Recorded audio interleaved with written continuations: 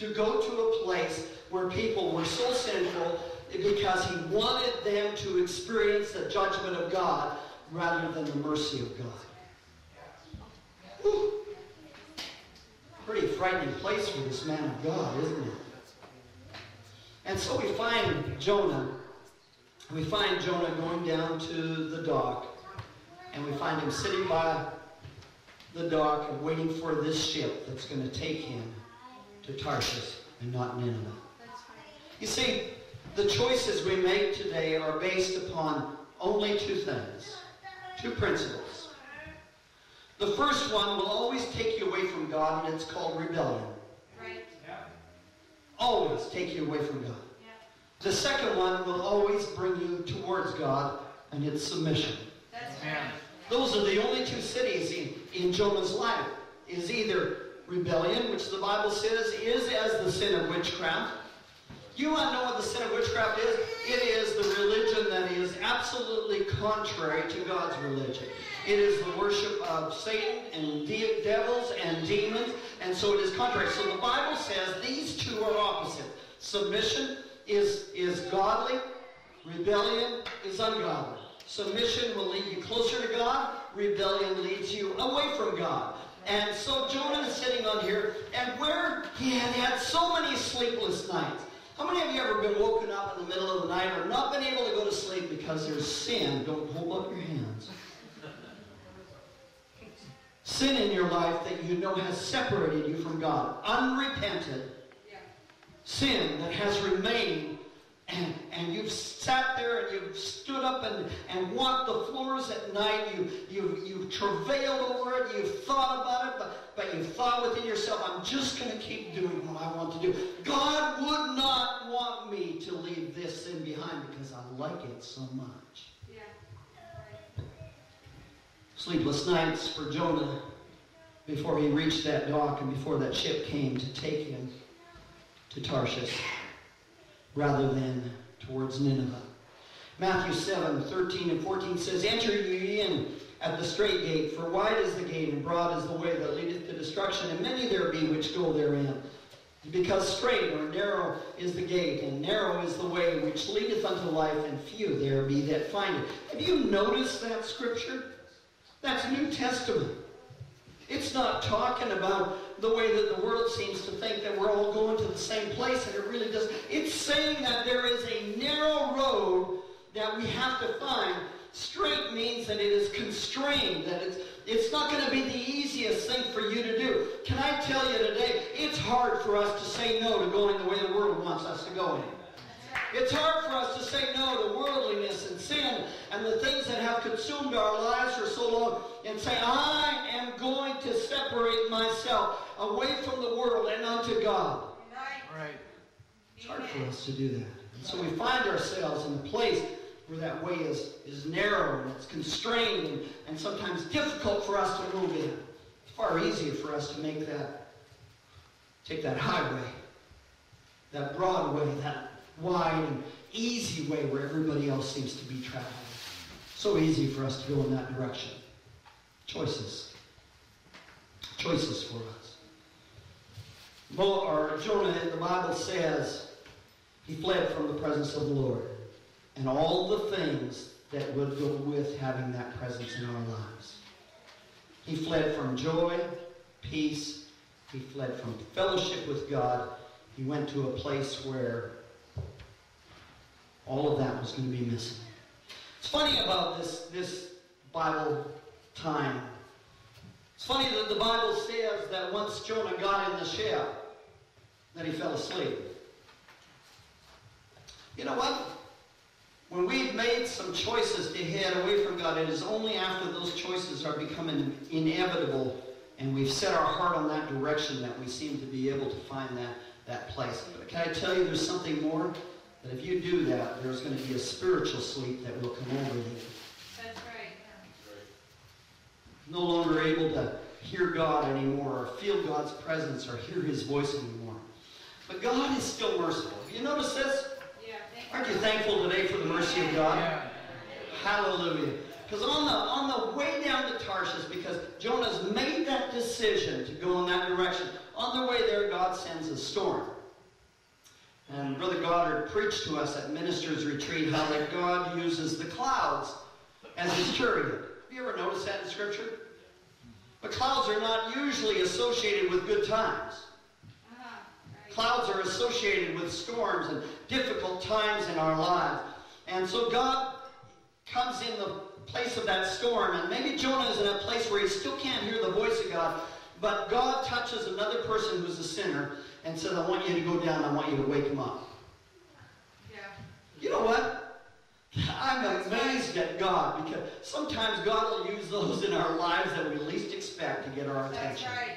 That's right. Yeah. And so God, God uses this man and he goes down and he wakes Jonah up. And, and there's times I've thought about this as a pastor that I, you just wish you could shake people. Because of the pastor, you see some of the decisions that they're making are, taking them along that path. And you know that they're already decided that the preaching is not going to affect them. That they're not going to be touched by the preaching of God's word. And they're just settled in that route that they have chosen for. And you want to just shake them and say, hey, wake up spiritually. You know that God is after you. God wants to touch you and he wants to change your life. And so this, this man goes down there and he wakes Jonah up and he says, don't you even care that this storm has touched us? You're still asleep in the midst of it? And all of us are going to perish? And Jonah finally is able to get to that place where God is looking at bringing him to. He goes up on the deck and he says, I want you to do something. The storm that has touched this ship right. is because of me that I've been running away from God's will for my life. Toss me in and you'll be fine. Look at the difference. A man that was not willing to go and preach to a city so a whole city could be saved is now willing to die so a few sailors will be saved. What a change. Do you know how to define if you're on the right path or not for yourselves? Look around you today. Everybody look at those that are beside you and behind you and in front of you. How much do you care whether or not the person that is behind you, in front of you, and beside you is saved? Are you willing to die to yourself so that they will be able to find the life that God wants to bring them? Choices. Choices that we make. There's a story that I read one time, and I don't remember exactly where I read it. My wife will come. Musicians. Story of a farmer who picked up this woman, and uh, he was headed into town. This woman had started to walk into town. Her, her baby was sick, and uh, it was extremely cold out, well below zero. And he was on his way in on his horse and buggy. Many years ago, and and uh, he stopped. Stopped to pick up this woman. Stopped to pick them up and uh, put them beside him on the front of the car. Let's stand together, shall we? And uh, began to make his way into town so that she could get care for her child. And as they're making their way into town, he noticed something about the woman. She began to fall asleep. And he knew for a fact that her falling asleep was the beginning of, uh, what do they call that when you're dying of cold? Hypothermia. Hypothermia. And, and so he did something. He stopped the cart. He grabbed the baby out of her lap, put it on his own lap, and made her get off the cart and walk. Well, that separation from her child she could not bear. And so rather than just laying down in the cold snow, she began to run after the cart. Because you see, that child meant so much to her that she was willing even to fight off her desire to go to sleep in order that she would be with it. God sends some things into our lives sometimes that we just do not understand. Some experiences that we've, we've encountered and some bad times that we've had are there so that we will understand how much we need God today. That's right. Yeah. Now I'm going to offer you something today during this altar call. I'm going to offer you a chance to be able to make the decision that God wants you to make. But before we get to that place, I want us all to do something. I want you to close your eyes. And I want you to ask God, what are you calling me to? There are some today that have made a decision to be baptized in Jesus' name. They've heard God speak to them, and they've made that decision. Now you ask yourself, God, where are you calling me to? What do you want me to do for you? Are we willing to, to say yes? God, I'm going to answer that call today. Hallelujah. Just talk to God for a moment. Let Him speak to you. Hallelujah. Thank you, Jesus. Thank you, Jesus.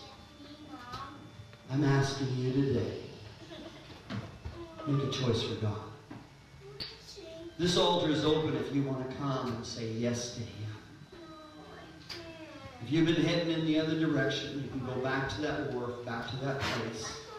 Take the right road, take the right ship, take the right direction that God wants you to be on. And you can follow Him to the very end of that path, which is going to be to be in glory with Him. This altar is open if you want to come and just say yes to God.